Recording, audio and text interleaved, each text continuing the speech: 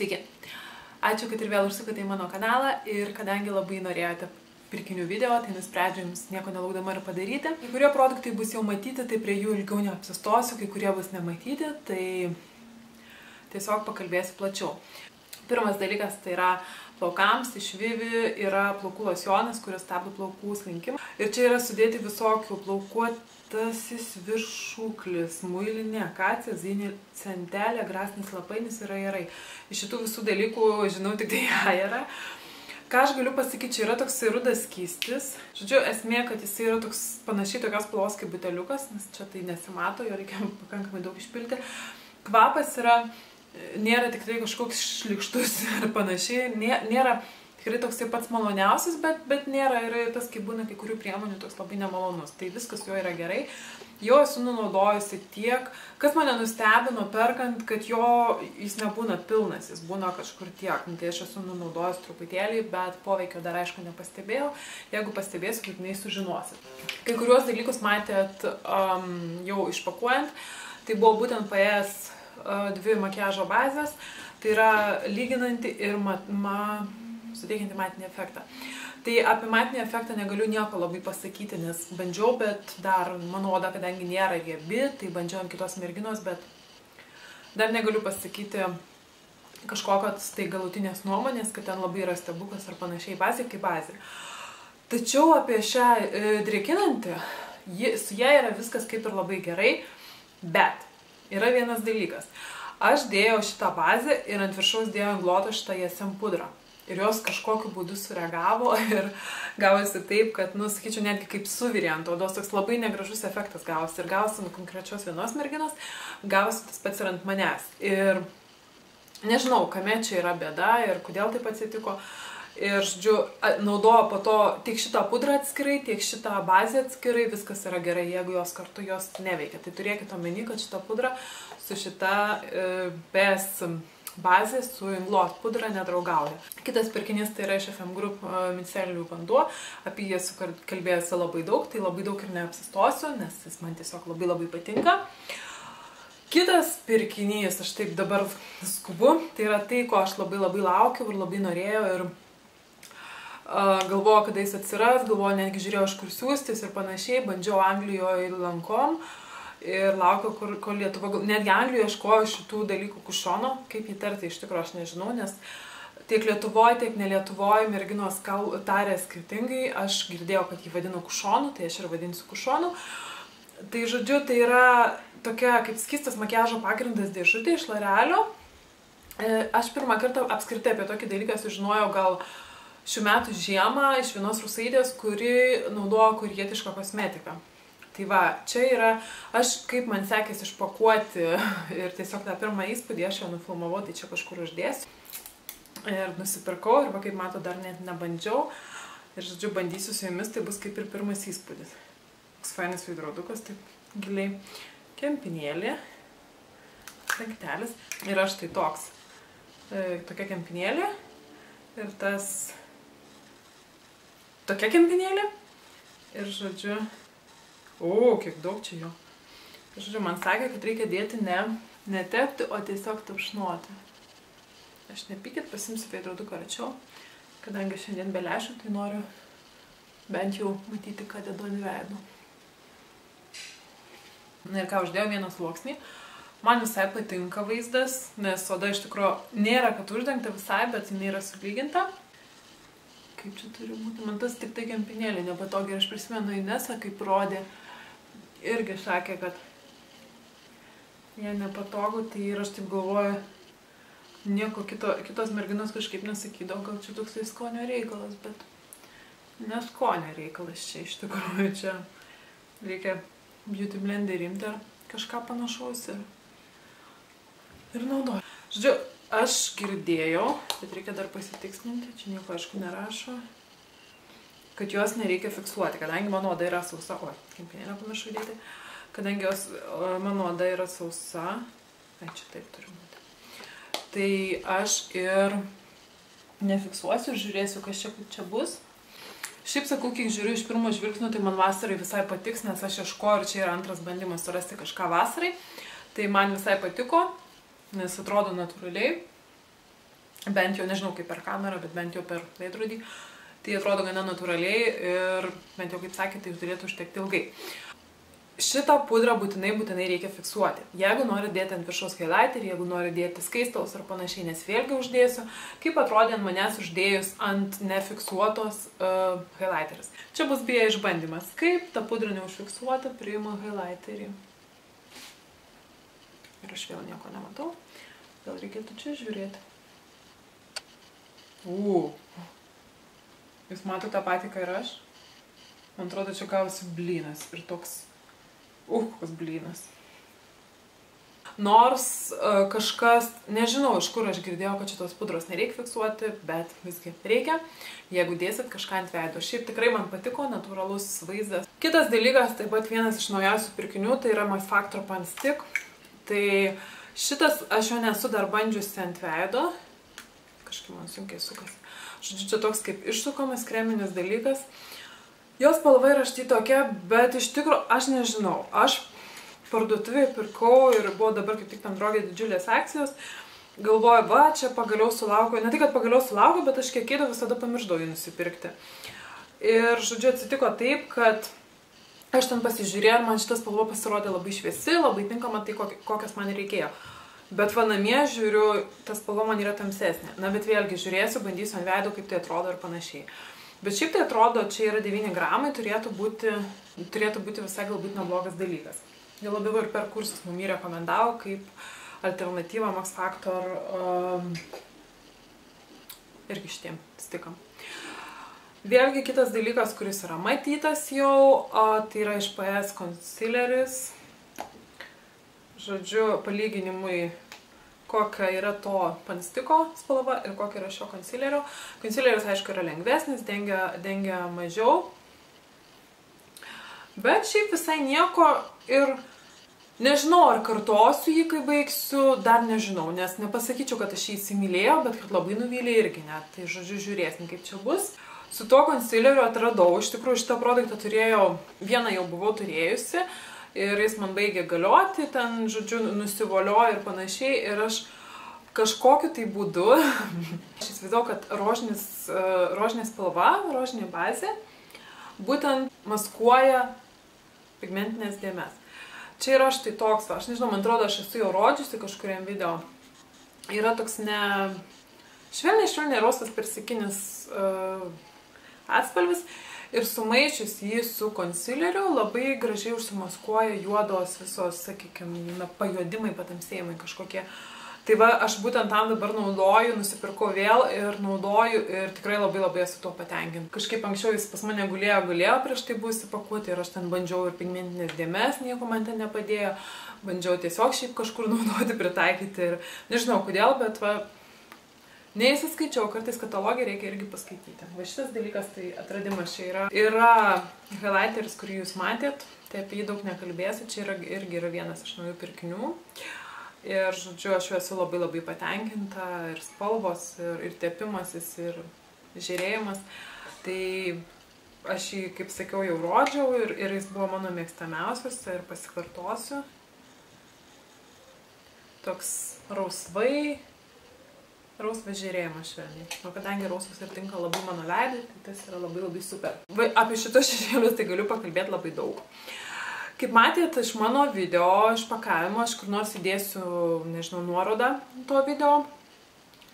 Kai aš bandžiau tik atidariusi pakuotę, man tikrai įspūdžio nesukėlė, nes, na, tikrai tai nėra tas dalykas, nebuvo bent jau tas dalykas, kur ten iš pirmo žvilgsnio duoda pigmentaciją ir čia wow, wow, wow Tikrai to nebuvo, bet kai aš atlikinėjau, bandžiau atlikti su juo gal kokį penktą makiažą, nors ir kiekvieną prabrūžinau taip gerokai, bet ir bandžiau gal penktą makiažą. Žodžiu, kai aš nuėmiau tą viršutinį sluoksnį, pigmentacija pasidarė tikrai žymiai geresnė. Ir tada jau aš supratau, kad kodėl visgi žmonės mėgsta šitos, šitos šešėlius, nes, sakykime, kiek aš esu žiūrėjusi apžvalgų, kiek esu žiūrėjusi makiažų, nu ten deda ir ta spalva yra, deda ir spalva yra, o aš kai tik atidariau, jokios ten spalvos nebuvo ir, žodžiu, buvo tikrai problematiška, aš galvoju, rinkausi iš Urban Decay Naked pirmos paletės, rinkausi iš šitos. Ir jau buvau net pradėjusi gailėtis, kad išsirinkau šią, nes spalvų mažiau, jos nepigmentuotos ir panašiai, jau pasirodo, kai nusėmė tas viršutinis sluoksnis, viskas su ja gerai. Nes, sakykime, nesu turėjusi šešėlių, kurių reikėtų nuimti tiek daug, kad jie pradėtų rodyti savo tikrą spalvą. Tai žodžiu, jeigu pirksit, tai turėkite tai omeny, kad, kad būtent mm, reikia taip gerokai padirbti, kol, kol sakykime, pradeda duoti savo spalvą. Toliau yra pirkinys iš FM Group Tėtėtos kolekcijos riboto leidimo.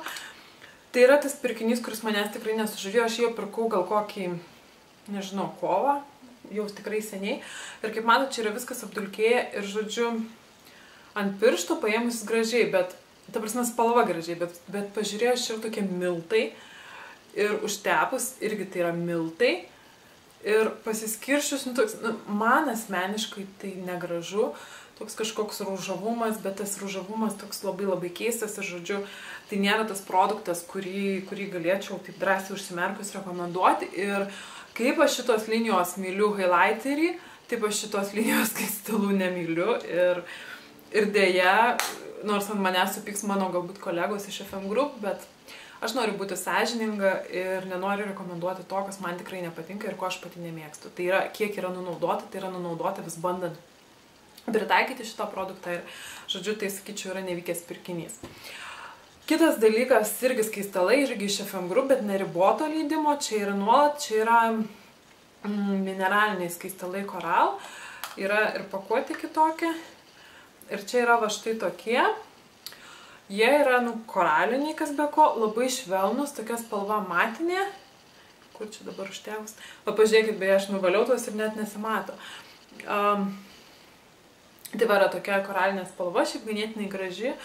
Ir taip, sakykime, ypač tom tamses, tamsesnėm merginom, tai, sakykime, manęs tai galbūt truputį keistai atrodo, bet tamsesnėm merginom atrodo tikrai labai gražiai ir čia jų yra 8 gramai ir užtenka labai labai ilgai. Taip, liko nebedaug, bet aš iš tikrųjų šį, šį kartą neparodysiu visko, ką norėjau parodyti. Tai yra šiandien pagrindė dekoratyvinė kosmetika ir keletas produktų, kurie buvo po ranka. Ir tam, kad nepasidarytų filmukas 3 valandų, tai stengiuosi greit, greit, greit. Žodžiu, e, dalykas, kurį nusipirkau e, iš Ingloto, tai yra Durelainas. Kas nežino, tai Durelainas yra, e, sakykime, jeigu jūs susikėtėjo šešėliai ar dar kažkas. Ir, sakykime, Mm, ne šešėliai, o pravedimas, tai galima įlašinti ir panašiai. Ir aš jį nusipirkau iš tikrųjų tam, kad aš galėčiau dėti šešėlius, mm, būtent šiuos. Ir iš tikrųjų tai pasiteisino, nes, sakykime, kaip pavyzdys, čia yra iš FM grup šešėliai, birus. Ir jie, jie yra, va taip jeigu paimtum, tai tokios dulkės. Ir jeigu uždėjus čia, matot, kad nieko kaip ir nėra. Na, visiškai.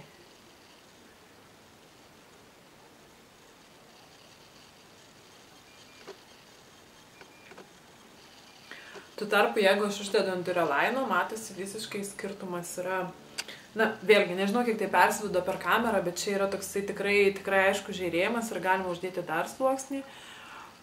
Ir, ta prasme, matysis, kad akis žyba, čia tokiam pošniam, sakykime, kažkokiam makiažui. O taip su laiku tiesiog nusitrina, nusitrina, nusitrina ir nieko.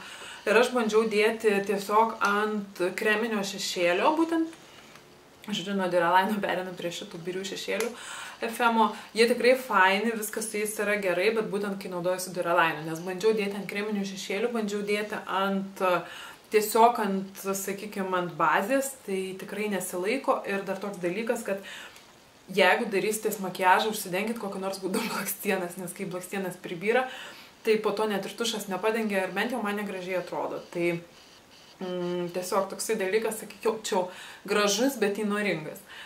Tai va, Durolainu tai esu labai labai patenkinta, su šitu teko pavarkti, kol supratau, kaip su juo padaryti tai, ko noriu.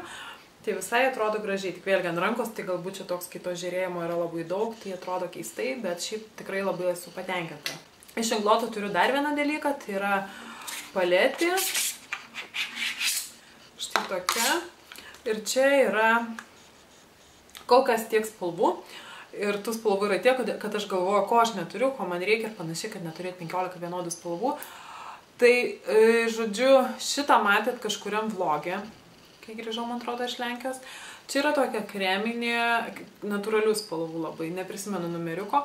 Ir čia, man atrodo, yra 393. Ir pabandom pasvočinti. Žodžiu, nežinau, kiek čia jums tai matysis.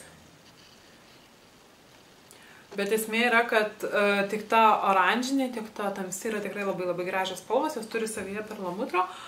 Tuo tarpu ta um, trispalvė štai ši yra, uh, man atrodo, čia 107 ar tai 101 kažkur iš tų. Nu, bet jeigu rasiu, tai parašysiu, nes iš 100 dabar nežinau kaip. Tai va, ir žodžiu, jinai yra visiškai matinė. Tai šitą paletę aš užsipildysiu kažkaip, kažkada po truputį. Ir sakau, man tokią turiu, kad vis nusipirku paskutinę norimą spalvą. Tai va, šiaip labai patenkinti ir man sakau, kas patinka, kad dangtelis tikrai nenuluš, va taip tiesiog patogiai pasiėmė ir laikai. Taip, jau liko visai nedaug finišo tiesioji, čia toks dabar iššoko ne iš kosmetikos, tai yra nusipirkau iš Faberlico apsauginis pienėlis nuo saulės. Viskas su juo gerai, bandžiau, apsaugo ir Ir tie kvapas nėra kažkoks šlykštus ir panašiai, tai kai panaudosiu daugiau pasakysiu. Ir tada liko dar keletas dalykų. Tai yra iš Ingloto štai toks lineris. Iš tikrųjų, man dėl šito linerio tai truputį taip gaila, nes aš e, norėjau nusipirkti tą antakiam būtent tokį, bet čia yra lineris. Ir man mergina, čia aš beje Lenkijoje apsipirkinėjau Douglas'e, man mergina sako, čia yra galima ir antakiam. Ir aš pabandžiau ant tamsios merginos su labai tamsiais santykiais, atrodo nuostabiai bet man jis yra per tamsus asmeniškai. Tai, ta prasme, ne kiekviena tikrai turi tamsius santykius arba tamsius plaukus, kad galėtum dėti tokią spalvą. Bet atrodo gerai, laikosi labai gerai, tai dėl to tai yra pliusas, bet sakau, aš pati jo naudoti kaip ir negalėsiu. Ir kai užstinksta, aš dabar užtepiau, to užstinks ir nebebus įmanoma jo pajudinti. Čia yra spalva 90. Jo, 90. Taip, kitas dalykas yra, kur jūs taip pat matėte, tai yra klyjai blakstienoms iš Makeup Atelier. Tai aš juos išbandžiau. Kas man patinka, kad jie užstinksta, nėra taip, kad jų reikia ten laukti pusę minutės, kad jie stinktų, nėra taip, kad jų reikia uh, pridėti ir kaip momentas pritraukia. Tai yra, sakyčiau, toks vidutinis stingimas. Laikosi tikrai gana gerai ir, žodžiu, aišku, naudoju dar, dar plan, klyjavau gal kokius keturis kartus. Uh, bet visada klyjavau išilginės blakstienas, o, sakykime, dar kokštelių nebandžiau, bet išbandysiu ir būtinai parašysiu. Na ir liko pabaigai. Pabandžiau patrinti, va truputį dar trinasi, bet jau, jau čia, sakykime, yra užstingę ir va. Čia viršuje, kur yra ploniau, jau net nejuda iš vietos. Blizgaliukas užsidėjo ir nebejuda to. Dar kiti dalykai liko, liko, liko, tai yra vienas, ką parsivežiau iš Anglijos ir tai yra 17 firmos lūpdažis. Štai toks, tai Paut, Paut, nežinau. Ir va, toksai Deli, Delin Quint. Žodžiu, spalva yra šiaip kaip ir labai graži. Kur čia man užtepus, kur ta švaru? Spalva yra labai graži, bet Aš nežinau, kokiu ją būdu reikėtų, ir man beje rekomendavo, kai klausiau merginų Facebook'e, ką man parsivežti iš Anglijos, man rekomendavo būtent šias firmos lūpdažius kaip po nerealius. Ir spalvos taip jau tikrai yra labai gražios, bet jie nevelnė visą laiką ant lūpų ir to prasme, tu randi juos kažkur šonė, tu randi juos kur nors ant dantų ir panašiai.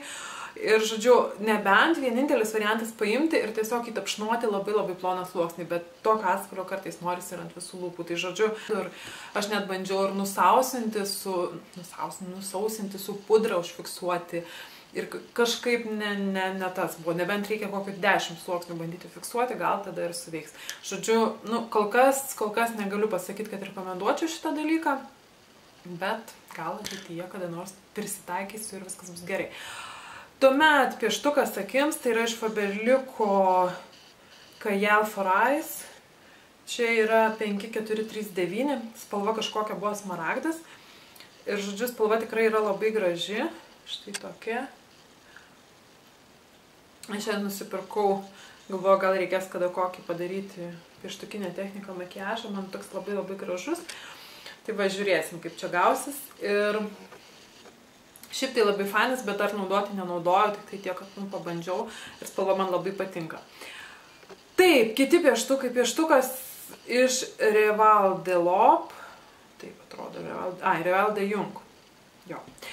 Tai yra štai toks pieštukas, uh, iš karto minusas, aš nemėgstu, labai nemėgstu ir stengiuosi kuo mažiau naudoti automatinių pieštukų, nu, bet yra pieštukai, kurie yra kaip ir geri, tik tiek, kad automatiniai. Tai čia yra štai toks baltas, Jis yra akims ir kartais tokio reikia, tai nusipirkau, šiaip man rekomendavo labai išbandyti ir va išbandžiau ir na, tikrai nieko, toks neblogas dalykas. Ne, ne, ne kiekvienai dienai, bet, sakykime, visai nieko.